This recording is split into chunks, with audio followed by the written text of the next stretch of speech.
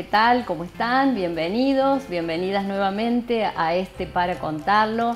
¿Cómo estás, Erwin? ¿Qué tal, Marita? Aquí iniciando esta edición número 28 de Para Contarlo para proponerles dos temas puntuales. El primero de ellos tiene que ver con el taller Cocinando Cultura que habitualmente se dicta en el marco del PEAM, pero por una articulación entre la Universidad Nacional de Río Cuarto y el PAMI se dicta para afiliados y afiliadas a esta última institución en el marco del UPAMI. Ese es el primero de los temas. El otro de los temas de esta edición de Para Contarlo tiene como protagonistas a las personas de la comunidad que han estado desarrollando los trayectos de la Universidad Barrial en el marco de la Escuela de Formación Profesional, personas que se capacitaron en el cuidado de niños, en el cuidado de mayores y también en el desarrollo turístico del sur de Córdoba. Este es otro de los temas de nuestro programa. Y precisamente con este tema de Universidad Barrial damos inicio a esta edición 28 de Para Contarlo.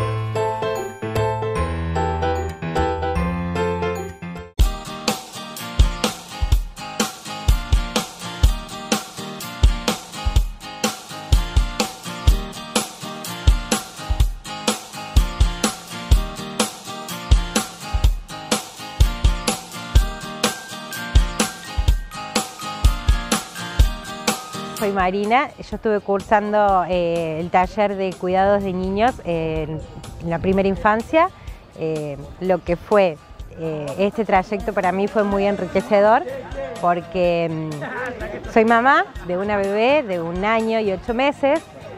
me enseñó mucho a mí, en mi caso, para, soy mamá primeriza, para encaminarme con mi hija y también para saber que sí podía seguir estudiando más allá de ser mamá, de tener mi hija. Me lograron dejar llegar con mi hija al curso, lo transitamos juntas. Em, muchos contenidos eh, me enriquecieron como mamá, como persona y bueno, fue un curso muy enriquecedor en el sentido de que muy compañeras, desde las profe, las chicas que nos conocíamos día a día.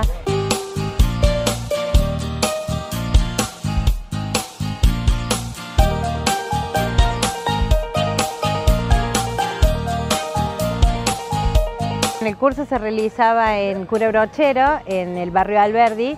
En mi caso particular, a mí me quedaba tras mano porque yo vivo cerca del golf. Eh, pero bueno, trataba de acomodar mis tiempos porque encima tengo mi trabajo en horarios cortados para poder hacerlo.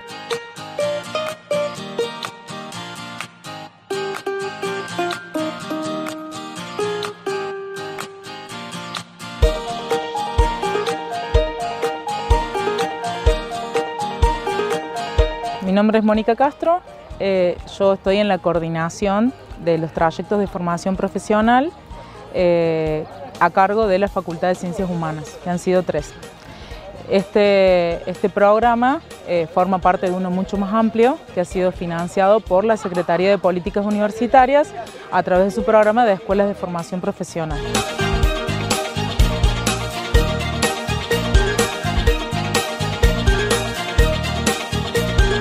Facultad de Humanas eh, ha participado en este programa con el dictado de tres trayectos de formación. Eh, uno de ellos, eh, un trayecto para la formación de cuidadores de personas mayores, otro para la formación de cuidadores de niños y niñas y un tercer trayecto para el desarrollo turístico con características bastante particulares respecto de los otros dos.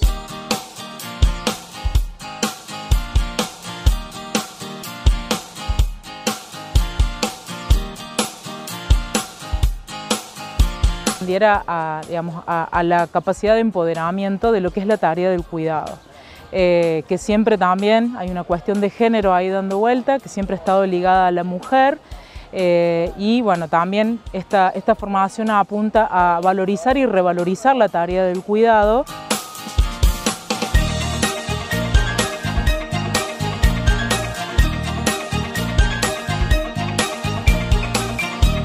También, bueno, eh, capacitar a personas eh, que se dedican a esto y que en Río Cuarto y muchas ciudades es una actividad que demanda cada vez más este, trabajo.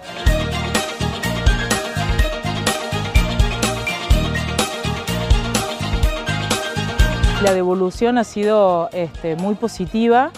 eh, también valorizando la presencia de la universidad en los territorios, la presencia de la universidad fuera del campus de la universidad, que a veces parece un tanto inaccesible.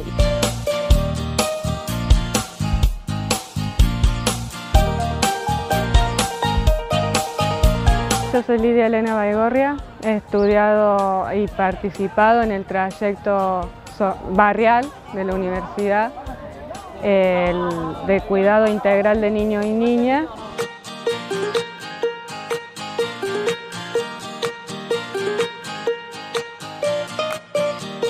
Como en mi experiencia me sirvió porque yo me gustan los niños y he cuidado muchos niños y tuve experiencia ya cuidando niños. Y me sirvió mucho para seguir enfocándome en lo que me gusta y bueno, por un lado más profesional, poder también explicarle a los padres o a las madres, por ahí ellos no entienden o no tienen paciencia y vos tener la información del estudio más específica, más complejo y le poder dar pauta o consejo para que ellos puedan ser padres.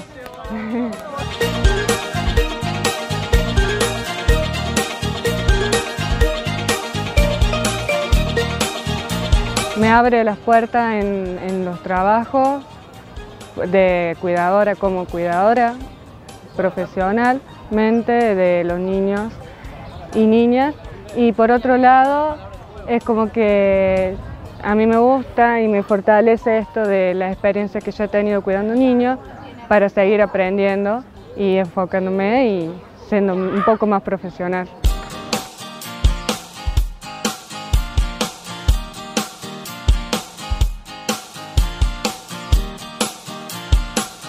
Mi nombre es Adriana Soberano, yo soy alumna del trayecto de este año, de 2022, que ha propuesto la universidad respecto del cuidado de personas mayores en domicilio.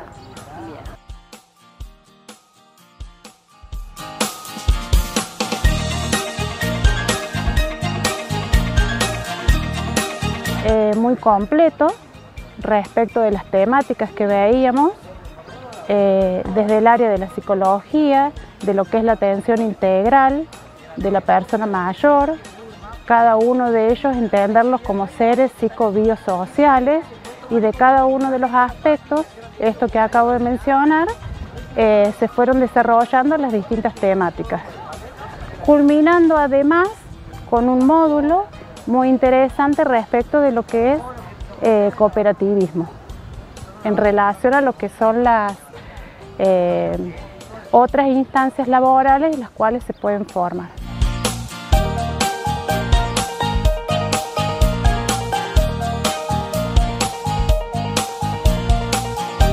En ese sentido, armar una cooperativa eh, para el cuidado de personas mayores, ofreciendo ese servicio con todo lo que significa y la riqueza que tiene este concepto de cooperativismo en relación a los valores que fomenta.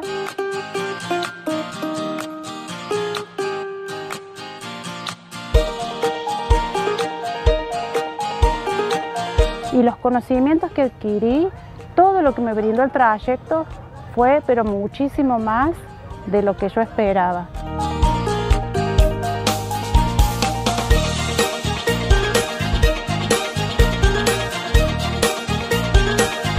Mi nombre es Melissa, tengo 28 años.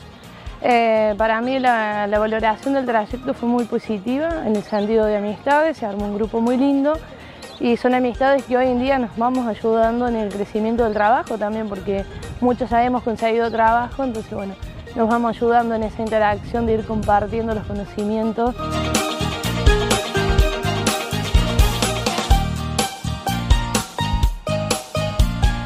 pero bueno, uno siempre lo hace con, como lo han creado uno, digamos, con una tradición y bueno, este, esta trayectoria nos abrió la mirada de que hay cosas que no se deben hacer de cierta manera, digamos, y poder ir adquiriendo esos conocimientos y volcarlos hoy en día en el trabajo es muy positivo, digamos.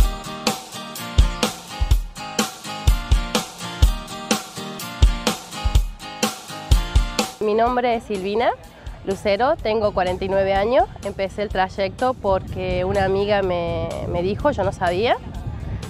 Siempre digo lo mismo, soy abuela, tengo un nietito de 4 años, por el cual empecé, porque como decía Meli, eh, estamos creados de una forma y bueno, fui mamá, hice lo que pude con dos varones.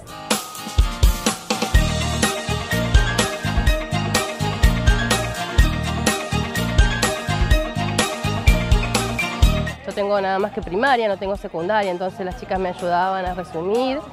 Lo que me quedó y lo que voy a llevar, y extraño todavía, es estar con ellas, compartir, es aprender.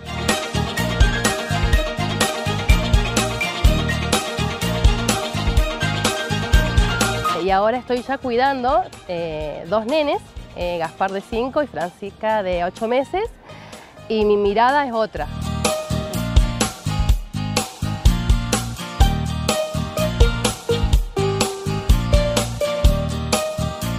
Yo si no hubiese sido que estaba en el barrio, yo soy de barrio Alberdi, eh, de la casa de cura brochero, eh, yo a la uni no, no tenía acceso para venir, digamos.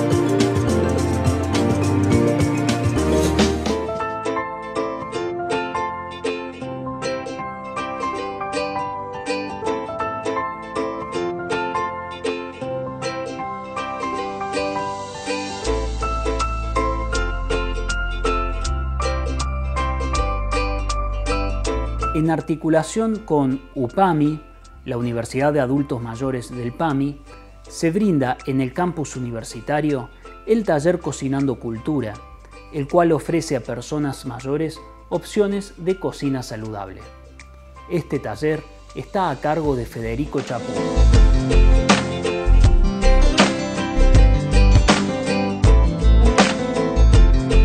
Nombre es Silvia Miranda, soy jubilada de PAMI, estamos en el taller de Cocinando Soberanía eh, Cultural, todo lo que es la parte de alimentos acá en la UNI, con el profe Federico Chapur, que la verdad que que hace un sombrero porque es bárbaro, y muy lindo el curso.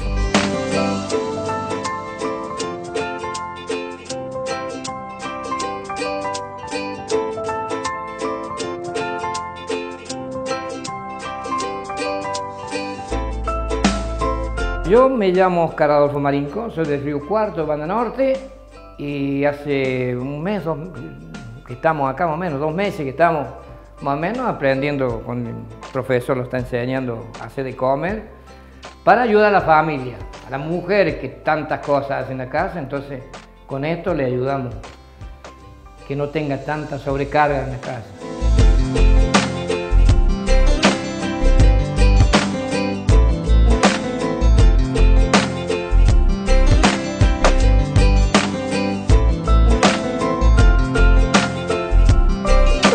Es para poder comer más sano, incorporar alimentos, semillas, legumbres que a veces no, no consumimos tanto en la familia, suplantar otro, otro producto por estas legumbres, por ejemplo el quinoa, la semana pasada hicimos empanadas de quinoa, que la verdad que en mi casa nunca habían probado, yo tampoco, fue bárbaro, fue muy linda eh, la experiencia de comer algo diferente, incorporar y aparte proteínas, vitaminas, todas cosas diferentes, no tener que usar la carne.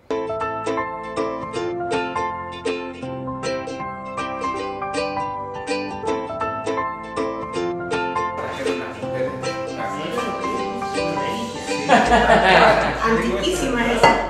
Viejísima. Le ponemos La salsa es con tomate, orégano y nada más y, y cebolla.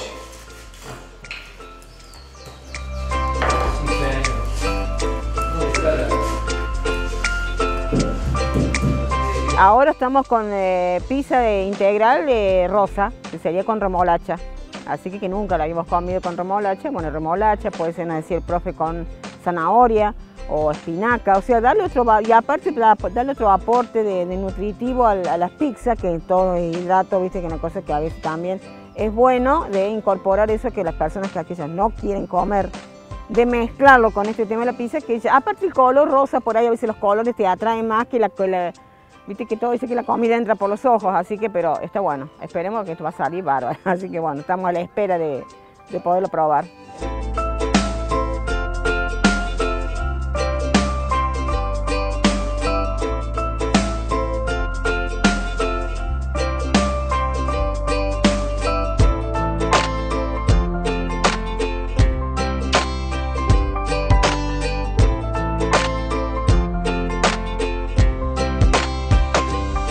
En este momento estamos por armar eh, eh, una pizza a la fugaza que lleva orégano y cebolla nada más.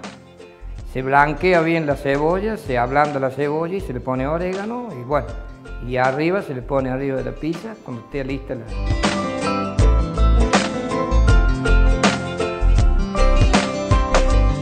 La masa, se le pone la cebolla, el el queso y el tomate. Y después la pizza común.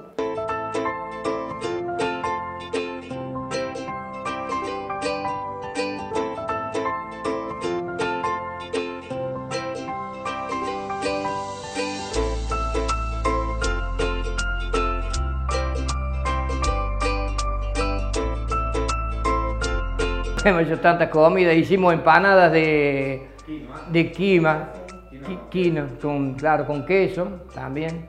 Todo, todo muy natural, todo natural. Todo, eh, para, esto más que todo es para la salud de uno. Porque se come todo, acá no va a haber nada de carne, no va a haber pollo, no va a haber nada. Es todo verdura, ¿no así? Todas las productos son verduras.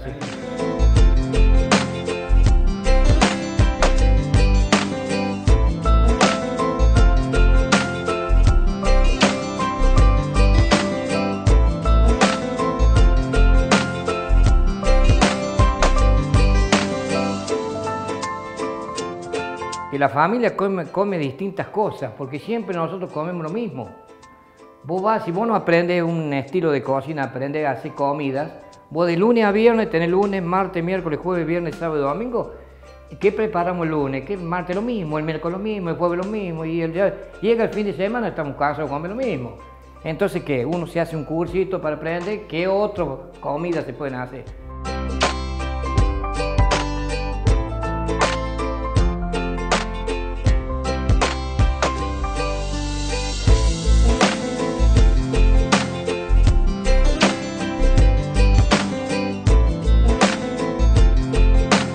Hace en 2018 más o menos hubo el curso de la Universidad Barrial que empezó, creo que el segundo año que salió de la Universidad Barrial, hice un curso de panificación em, que la verdad me sirvió mucho en el tema de la pandemia porque, o sea, lo anexé a la parte de artesanía que yo hacía de feria. Y me ayudó también la parte económica para solventar lo que fue el tema de la pandemia, que hasta el día de hoy lo continúo. Y me gusta todo lo que es la parte cocina, entonces por eso me interesó esta parte de, de PAMI de hacer este, este curso, que el año que viene lo voy a continuar con el profe en el PEAM.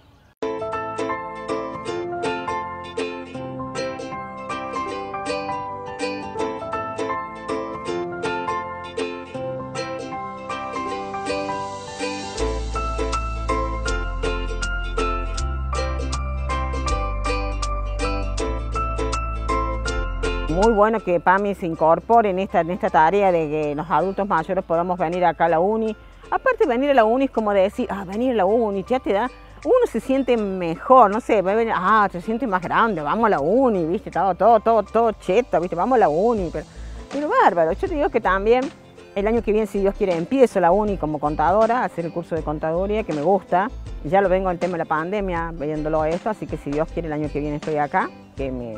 Más allá de decir venir a la uni, es lo que me gusta a mí la parte contable, que yo trabajé en esas partes, los números, la parte de balance, todo eso me gusta, así que bueno. Pero esto de que incorporen el PAMI a las personas mayores, ¿no? Está muy bueno porque nos ayuda un montón a despejarnos, a ponernos en otro tema de, de pensar en otra cosa, de poder salir de la casa, de un tipo de terapia sería.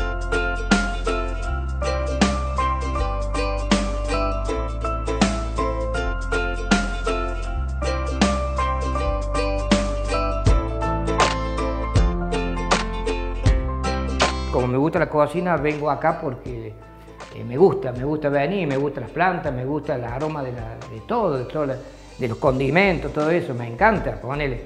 Entonces por eso vine acá.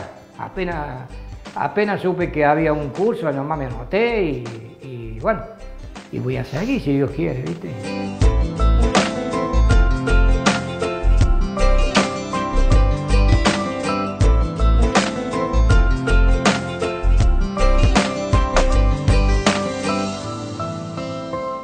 Cosa para salir a laborar, no. Es una cosa particular mía que me gusta que la familia coma de todas clases de cosas, ¿viste? Que se acostumbre a no comer lo mismo.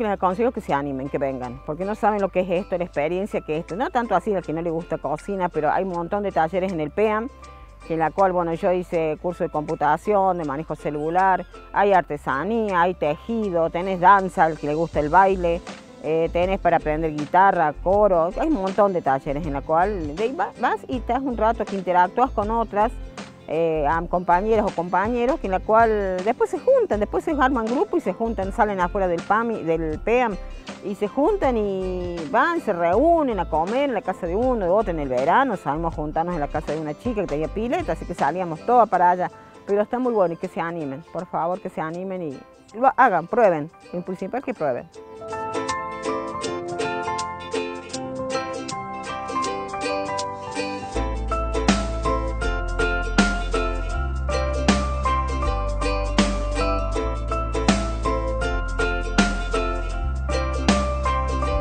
Lo que sí, agradecer a la UNI por darnos este espacio, este lugar y poder aportar en, el parte del PEAN, de ser parte del PEAN también, de brindarnos estos talleres, que, eso nos ayuda mucho y, tener, un, como que decimos, yo generalmente sé decir, es como ese acogimiento a los mayores de darnos esa satisfacción de ir a hacer lo que uno le gusta, lo que quiere, sin tener un horario, y no que dejarnos quedarnos en casa encerrados sin hacer nada, que eso es lo peor que puede haber. En este momento para las personas mayores que ya los hijos empiezan a volar, uno por ahí a veces se queda sola, y entonces por lo menos interactuar y ocupar la cabeza en otra cosa.